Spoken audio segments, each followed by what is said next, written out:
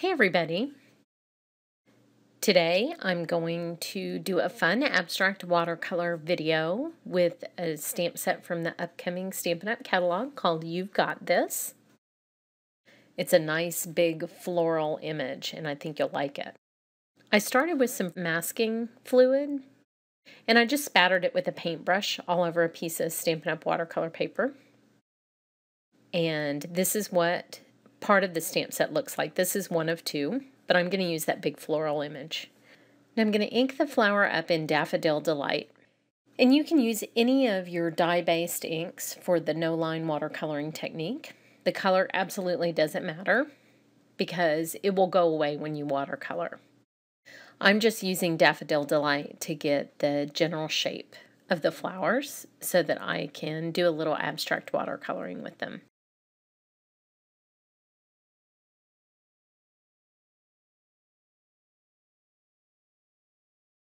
Now I always start by just adding some water to a few of the shapes that I'm going to be coloring in, in this case petals. And here I'm actually using a little bit of QOR watercolor. I'm using, I don't know how to say this word, quinacridone magenta. I'm sure there's someone who knows.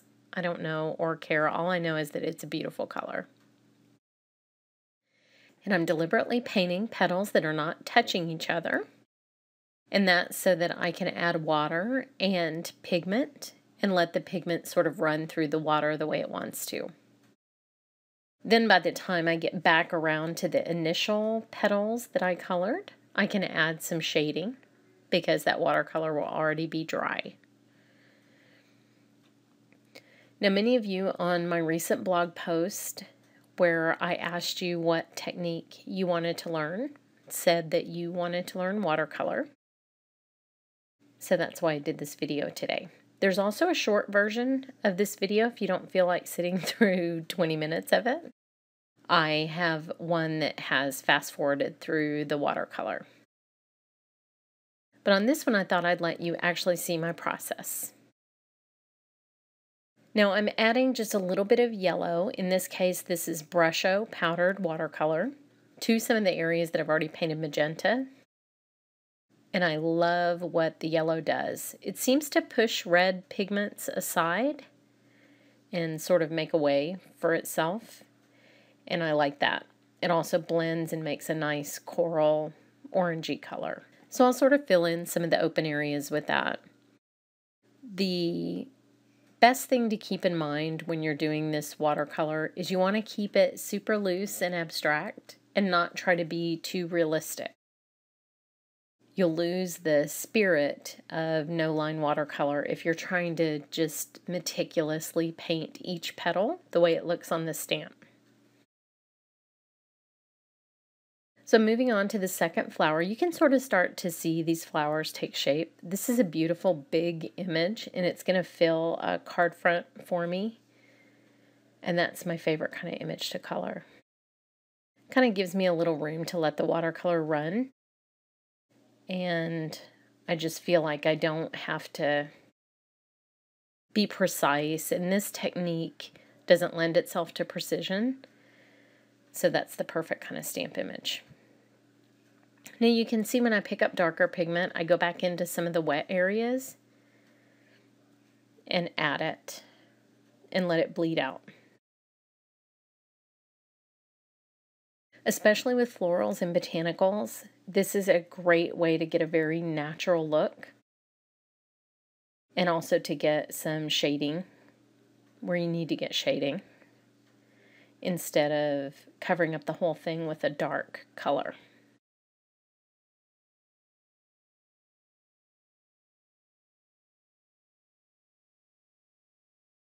Now, watercolor mediums work great together. That's why I'm using most of the things in this ice cube tray are Brusho. But then I have the magenta in the QOR watercolor.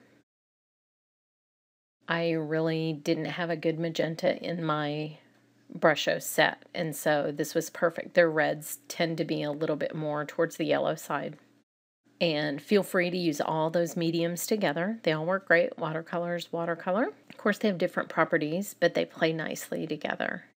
Now, I love adding violet for shading when I'm working with this particular color family.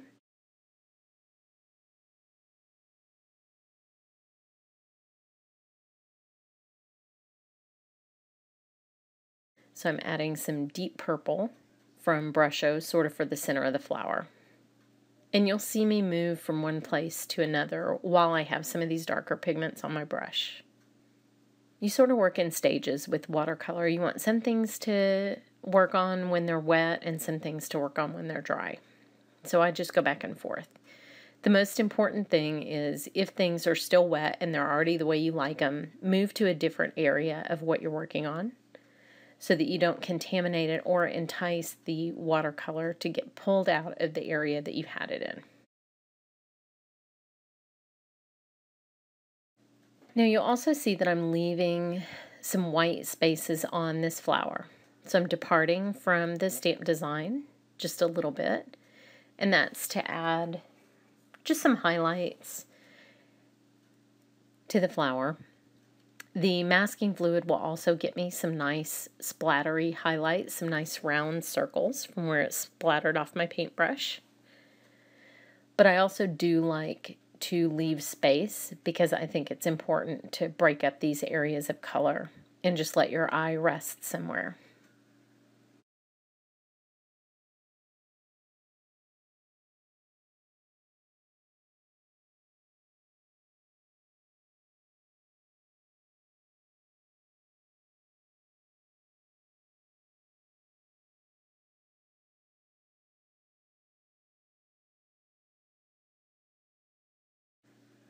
Now I have some, it's hard to see right here on the video, but the flowers that I stamped lower than these two that I'm working on also need to be filled in. And I'm using the same color scheme and letting the darker magenta bleed into the wet watercolor areas.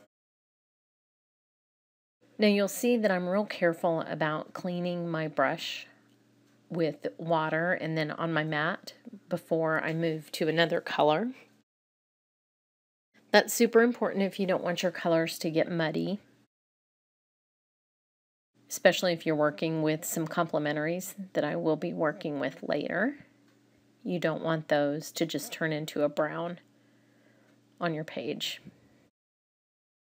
Now this Stampin' Up! watercolor paper is a cold press watercolor paper. So it has a little bit of texture to it, not much though. And one side is smoother than the other. So you can work with the texture to create some interesting designs, or you can flip it over to the smoother side if you're really interested in preserving some stamp detail. I obviously didn't need detail here because I'm just painting over these beautiful flowers.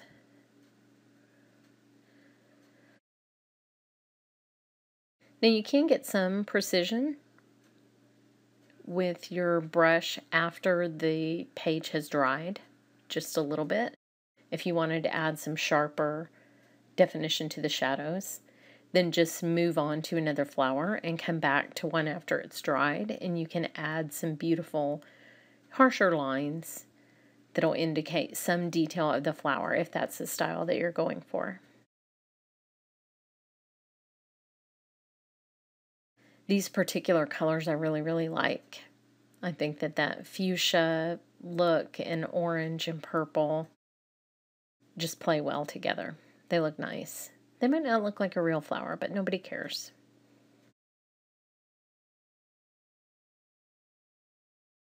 Now repeat the same process with the newer flowers. First, mostly water with a little bit of pigment. And then real saturated watercolor to bleed into that. And you'll see how well that fills out that space. And you can create flowers and leaves and all kinds of great botanical shapes this way just by painting with water first and then touching the pigment to the edges. it gives it a surprisingly realistic look, especially with things like rose petals. Because you'll notice if you just go outside and look at them that the colors do flow into each other. While you're looking at your painting, it's strange to watch this on video for me because to me it doesn't look the same as it does when I'm painting it. But what you'll need to do every now and then is step away and look at your painting from a distance. And I find that that's very, very helpful. You, when you're close to the page and you're close to what you're painting, sometimes you think it looks like a terrible mess, but in reality, it's really beautiful. And you just need a little bit of distance from it to be able to see that the abstract shapes are really working. Another thing that I like to do is take a photograph halfway through with my iPhone. Change the setting. If you're using Instagram, it's very easy to do with the Instagram app, but you can also do it with the native camera app on your iPhone or Android. And turn the photo to black and white. And when you do that, it will become very obvious that you're either your shadows are very well done or that you need a lot more contrast, which is usually the case with me. And you will see immediately that you need to add some deeper, darker shadows to your watercolor. And I find that super helpful, easy, free, judgment free feedback from an inanimate object and I use that a lot whenever I can. I'm going to do the same thing on the foliage. Again, I'm really not adhering anything but very loosely to the stamp design. I don't want it to look like I drew, you know, what a leaf looks like or what a stem looks like. I really want it to be more based on color than it is on shape. And so I'm pretty free with the way that I follow the stamp design. But it's so great to have that composition there for balance and to let you know where things should be on a plant.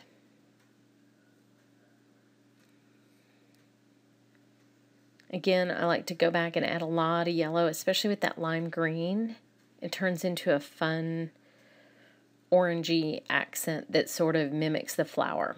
It looks like reflected light from the flowers themselves, and that's what I want because that's what you would normally see. Even though this isn't super realistic, I do want it to look like something you would actually see out in nature. Another great shading color for yellows and yellow greens is just a good dark blue or a turquoise. So that's what I'm adding here, just a couple accents of a dark blue that I can blend in. And that adds just a different tonal value of green that I think you'll like. A deep, deep blue is very nice too, a dark navy or even a dark blue that tends towards the violet side. Now the center of the flowers I want to be dark like they are on the stamp image. So I go almost full strength into the center of the flowers with my dark violet Brusho. And if you just don't concentrate on what the center of that looks like, it comes out perfectly. If you do concentrate and you try to make little dots or approximate what a flower really looks like, I think you'll be disappointed with the results. So stay away from realism as much as you can if this is the technique you want to do. Now I realized that I had not filled in a couple of the petals on the two biggest flowers. And so I looked at it for a little while and then I realized I had just a tiny bit too much white space. So I filled those in and then moved on to the flower on the left to sort of fill that out.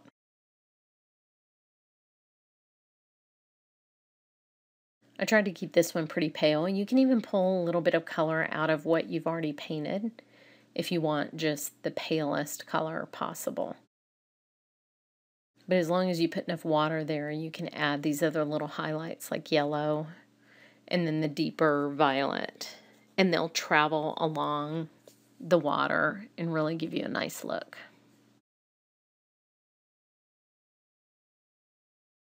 Now I popped a little bit of magenta into the flower center as well. And then added a couple more pops of color to that leftmost flower. It's so fun to just let it bleed. Really, really nice and organic. Now I have one more lower flower to do, and these smaller, shorter ones can be even more abstract than the other two are. They're sort of in the background and they don't need as much detail as the focal points do, but I do want them to have the same colors in them. So I want to make sure that nice coral blend is there, as well as just a little bit of shading with the violet.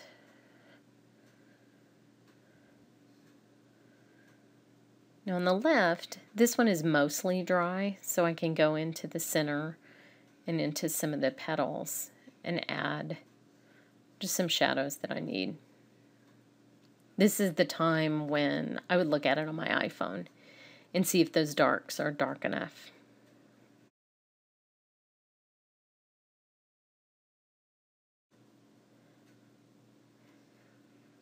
Now I let that dry a little bit and that was because both of those flowers were still really wet.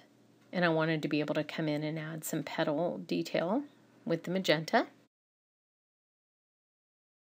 So just walk away every now and then and let the other layers dry. And this is what will keep your watercolor from getting muddy. Even with just analogous colors, you can still get mud if you don't wait long enough for the layers underneath to dry. And depending on what kind of watercolor you're using, if it activates very easily with water, you might get a little mud too. So you just have to plan out those layers a little bit. Now I'm adding water to the background because I want to put in a little blue sky. And I'm very careful not to touch the edges of what I've already painted. So I want to let the sky color, which is the Brusho turquoise, I just want to let that fill in the areas that I have water in without going up and grabbing the pigment from the edge of the flowers just yet. I will get closer to them as the painting goes on, but right now I just want to fill these areas with a little bit of color and not mar the edges just yet. So just adding plain water works great. And you can see already that the turquoise pigment doesn't move quite as much as the yellows and the magentas do. Each color is different, and you need to learn the properties of each shade in the medium that you're using. Because a Brusho turquoise is going to behave differently than a fluid watercolor or a pan watercolor turquoise is. Some pigments have the same properties across mediums. Some of them can be kind of obstinate, no matter what form they come in. But you'll want to practice a lot with whatever medium you're using and just get to know each one of these colors.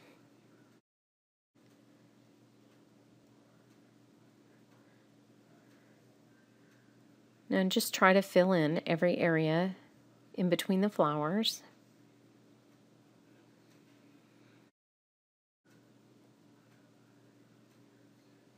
And I'm actually going to add just a tiny bit of violet to the sky.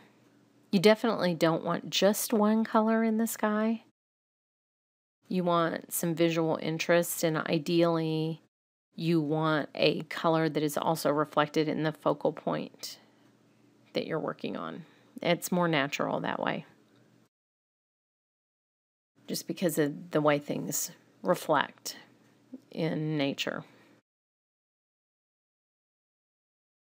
Now here's one of the petals that I forgot, so I'm kind of filling that in in these flowers. So They don't just have a sky intruding into what should be a flower. And I'm going to turn it upside down because it's easier to get at the top part. Now I want a little bit of white space on this sky. So I'm not going to make it the same height all the way across. When I cut this down to card front size, I want there to be just a little bit of white space at the top.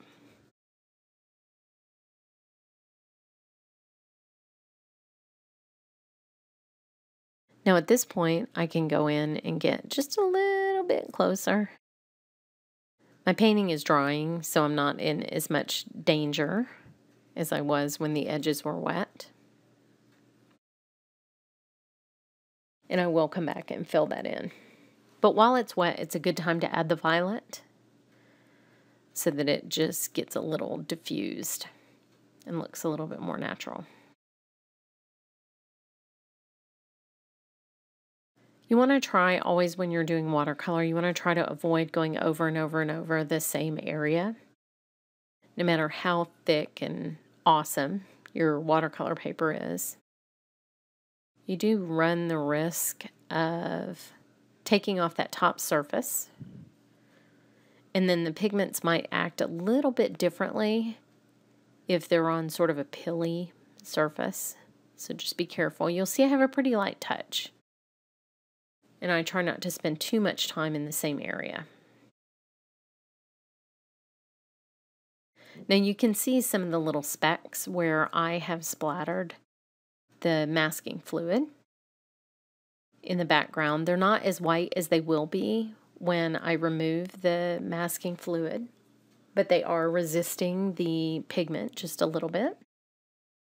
You can see right there in the sky. And then, of course, there are some areas on the plants as well.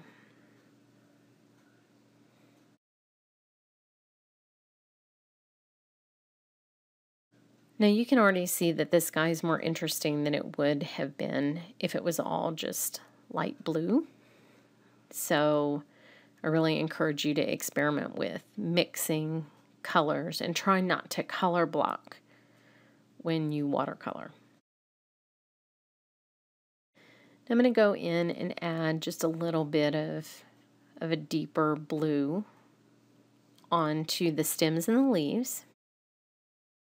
And then I'm going to add in the background, I'm going to add some little just atmospheric touches of green behind the foliage so that they are less of a focal point than the flowers are because I really want the detail of the flowers to be the star.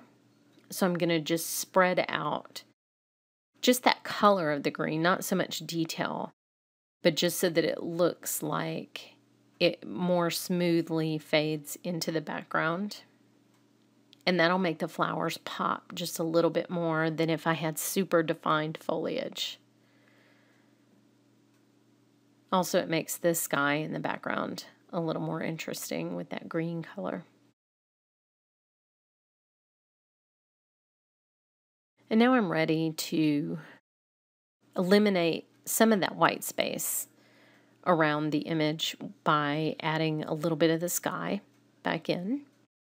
Again, this is a combination of pulling the pigment out of the background itself just with a wet brush and then actually adding more pigment around the edges.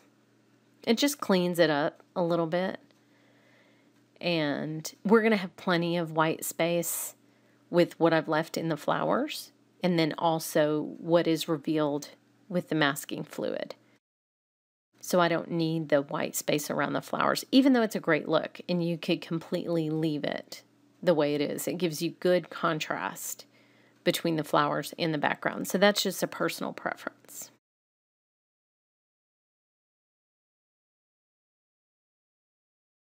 but I'm going to fill it in just a tiny bit.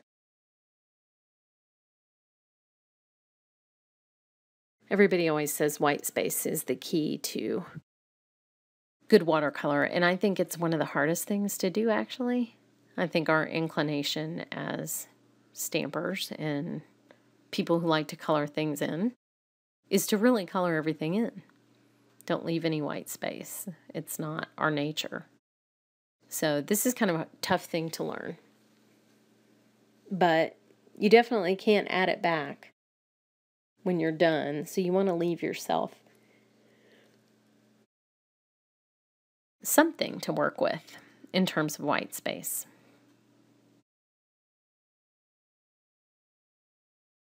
So now I'm just going to let that dry for a little while. I really like the way it looks. Doesn't look, looks enough like the stamp, but it doesn't look exactly like this stamp. So now I'm just testing to make sure it's dry. And then I'm going to take my adhesive eraser and erase the little dots of masking fluid. And to do this effectively, you just need to run your finger over the paper and you'll feel where they are and then you can pull them off. And you'll see it has just these nice little tiny round dots that are so much whiter even than the white space that I left that they just look great. They're very crisp. I probably actually should have added a few more splatters or bigger splatters. But I never know. You never know when you do it. It just is what it is. You just want to feel your way around until they're all gone. And it comes off so easily. It's really magic. The only thing is, I wish masking fluid didn't smell like a dead goat. I'm just not sure why it has to smell like that. All of it does, though.